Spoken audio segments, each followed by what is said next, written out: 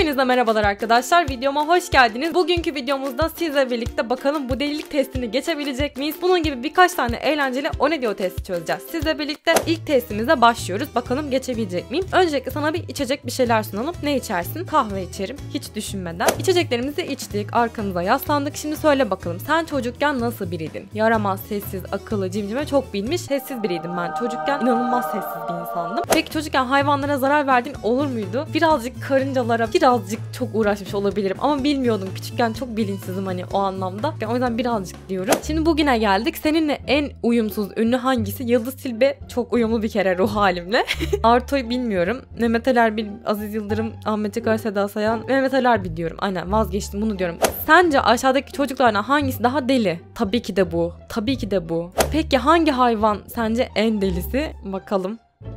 Kediler ya. Kediler gerçekten normal değil yani. Şu özellikle hiç normal değil. Bunu seçiyorum o yüzden. Şimdi de hayran olduğun ünlü bir deli seç. Dali. Salvador Dali. Ve resimlerini çok beğenirim. Sence hangisi daha çok çıldırtır?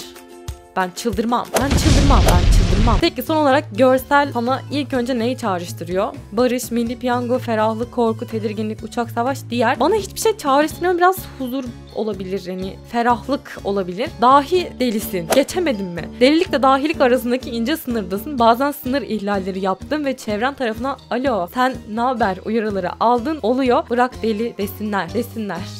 Dünyanın en meşhur testine göre sen aslında kimsin? Ben aslında kimim? Hangisi seni daha çok tarif eder? Nazik, yaratıcı, hırslı, güvenilir, idealist, dengeli, net, düşünceli, fedakar. Yaratıcı ya da hırslı ikisi arasında bir çizgide geçiyorum ve bunu seçiyorum. Birisi sana derdini anlattığında ona ne yaparsın, ne dersin? Dinlerim. E, gerçekten dinlerim. Hani ona böyle çok fazla akıl vermeye çalışmam ama dinlerim. Sakinleştiririm. Ama iyi bir dinleyiciyim yani. Yalnız kalma yapmaktan en çok hoşlandığım şeyi öğrenelim. Yeni diziye başlarım, internet takılırım, kitap okurum, bilgisayar oyunu oynarım. Direkt.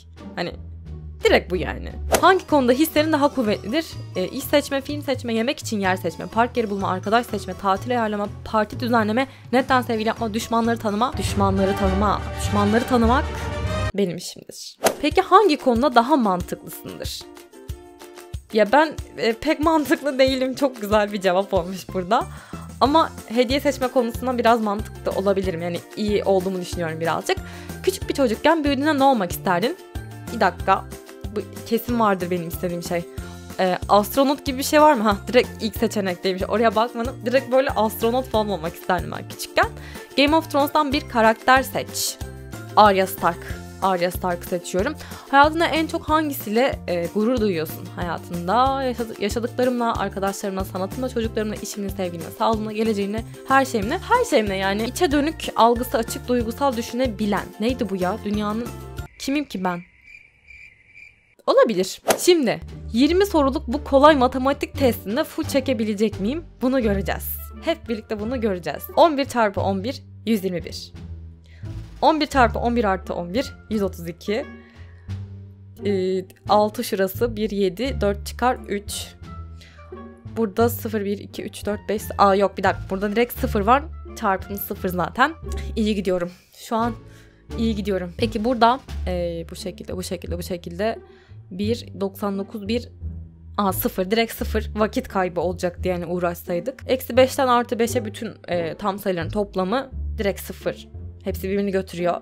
2017 çarpı 17 artı 2017. Bunun bir şeyi vardı, kuralı vardı. Kendisi artı biriyle çarpımı bir şey olması lazım. Ya da eksi biri artı biri. Sallayacağım yani. Şu değil ama. Şu da değil, şu da değil. Eksi biri de olmadığı için bu. Hani tamam doğruyuz, doğru gidiyoruz. 2 çarpı 2 artı 2 bölü 2. 4, 1, 5. Hangi sayı diğerlerinden daha küçüktür? Ee, eksi 3,5, eksi 2,5, eksi 3, eksi 3,5 daha küçüktür. 1, 1, 2 geliyor, 3 geliyor, 5 geliyor. Şuna şunun toplamı 3, bunun bunun toplamı 5. O zaman bununla bunun toplamı da 8 olacak. Yani 3 ve 5'in toplamı 8 olacak. 4'ün karekökü aşağıdakilerden hangisine eşittir? Ee, küp kökü 8'in küp köküne eşittir. Bir işçi bir işi bir işçi bir günde bir saat çalışarak 5 günde iş bitiriyor. 5 işçi aynı işi günde 1 saat çalışarak kaç günde bitirir?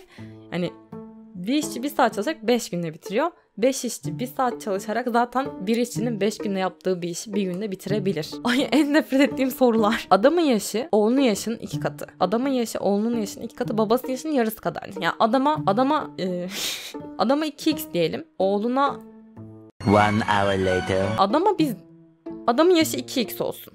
Oğlunun yaşı da x olsun. Babasının yaşı da 4x olacak böylelikle. Diyor ki torunu 20 yaşında. Yani x 20 o zaman dede kaç yaşında? 4 kere çarpacağız 80. Bu nasıl bir sayı nasıl bir sayı? 1, 1, 0, 1, 1, 1, 1, 0, 1 bu şekilde. Hangi sayı daha küçüktür? Şey olan hepsi 1 sonra buraya bakıyoruz bu da 0 sonra bu direkt bu daha küçüktür. Yarısının yarısı 1 olan sayının yarısı kaçtır? E, deneyelim yarısının yarısı 1 değil yarısının yarısının yarısı 1 olan sayının yarısı 2. 4 aslında ama ya onun da yarısı 2 herhalde. Kafam çok karıştı şu anda ama doğru gidiyoruz. Hala bir yanlış yapmadım. Alanı 16 santimetre kare olan karenin çevresi kaç santimetre karedir? Alanı 16 ise bir kenarı 4 santimetredir. Çevresi de 4 kere 4 yine 16 santimetredir. Hangisi asal bir sayıdır? Bu da bölünebiliyor. Kendisi haricinde bir sayıya bölünebiliyor. 2 bölünemiyor. Doğal sayıların hepsi birbiriyle çarpılırsa hangi sonucu bulur? 0 bir doğal sayı olduğu için direkt 0. Bütün tam sayılar toplanırsa hangi sonucu elde ederiz? Ee, bütün tam sayılar toplanırsa hepsi birbirini götürür. Eksili sayılar, artılı sayılar. O zaman cevap 0. 20 sorudan 20 tanesine doğru cevap verdik. Burada bitirdik bence. Şu an olayı bitirdik. İzlediğiniz için çok teşekkür ederim. Umarım bu videoyu beğenmişsinizdir. Beğendiyseniz beğen tuşuna basmayı ve kanalıma abone olmayı unutmayın. Bir sonraki videolarda görüşmek üzere. Kendinize çok iyi bakın. Bay bay.